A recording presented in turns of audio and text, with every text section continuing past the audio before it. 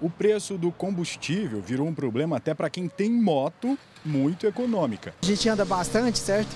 A minha rotina é muito longe, 18 quilômetros, então por dias eu gastaria o quê? É, mais de 10 reais só para andar de gasolina, então já é injusto, entendeu?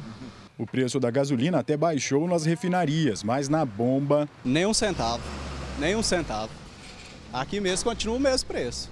Segundo a Agência Nacional do Petróleo, a gasolina está custando em média R$ 4,72 no Brasil, quase meio por cento mais cara do que na semana passada. Nesse período, o etanol anido teve um aumento considerável, que ele é 27% da composição do preço, e o imposto também, o ICMS, ele foi atualizado a pauta, que houve também reflexo de aumento, em torno de 2 centavos.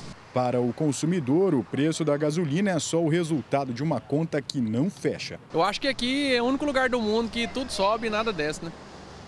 Essa é a, essa é a verdade. Pesa muito, nossa, bastante caro, cinco reais a gasolina, isso é um absurdo.